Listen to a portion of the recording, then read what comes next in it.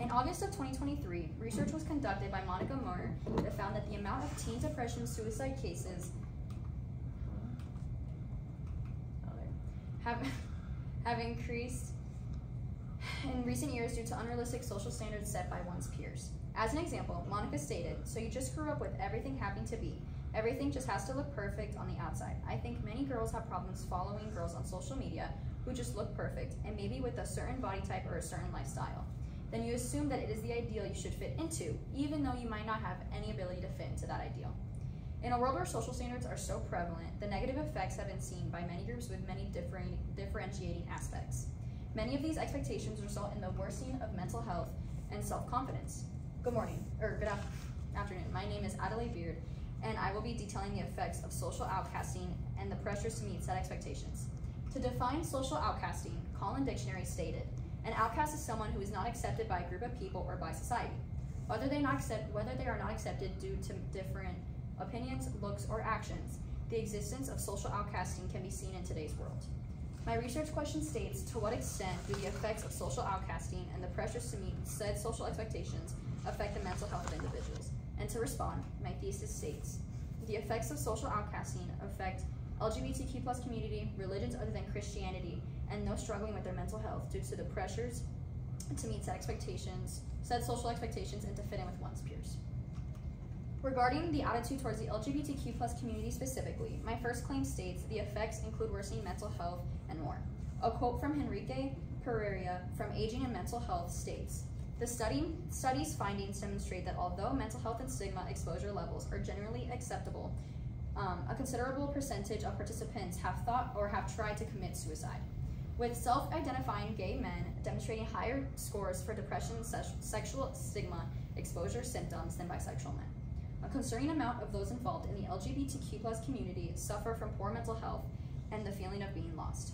According to this chart from the Pew Research Center, 16 out of the 58 attacks that occurred in 2021 to the LGBTQ plus community were due to the opinions that people hold and unwilling to change them.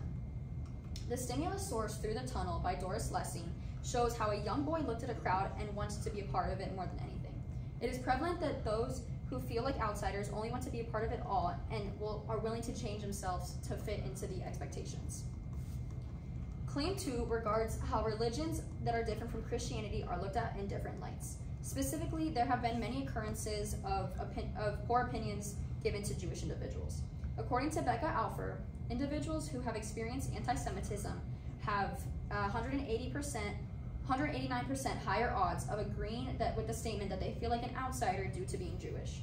All those who have experienced hatred, racism, and bigotry begin to feel slightly like an outsider even in their own skin. The chart from ABC News shows the drastic number difference between the percentage that are Christians and the percentage that, that follow other religions. Considering majority of religious individuals follow this specific faith being Christianity, many look down on those who do not. My final claim states that the stigma against poor mental health. There is an idea that shows that those who are sick are crazy, delusional, dangerous, and dramatic, as opposed to simply not being 100% in their mind.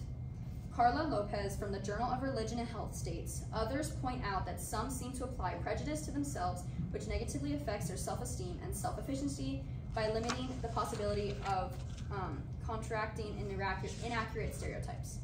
When those struggling begin to hear the thoughts that other ha others have towards them, they begin to believe it themselves. The decline has been seen visible over the years and continues to be visible to all. Simone Biles, Simone Biles stated, I know this I know the nuance of courage, the part that requires looking at yourself and having this hard conversation. Being able to see that you are better than what the others see you to be puts allows you to have strength, resilience, and the ability to look past the stereotypes that are given to one.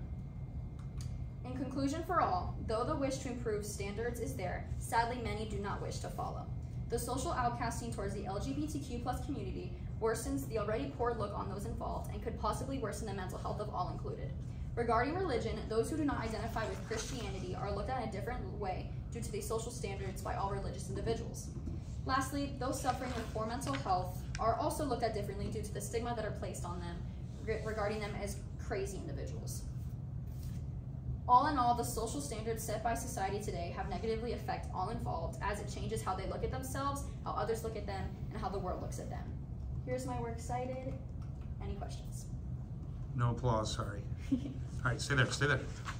Uh, first question, can you tell me how your research question evolved as you worked your way through the process? Yeah, so originally my research question was regarding more being an outsider, um, but in the end, as you can see, it gravitated more towards the mental health effects as well as um, like self-confidence level effects as opposed to specifically being like an outsider to um, others and like peers. Okay, um, and um, what advice would you have for other researchers who wanted to look into this topic in the future? Um, I would say to research more maybe like economy or economic differences so you could connect that back to mental health because those who sometimes experience worse men- or less like that are less fortunate their mental health worsens due to not being able to access things that they need to live their everyday lives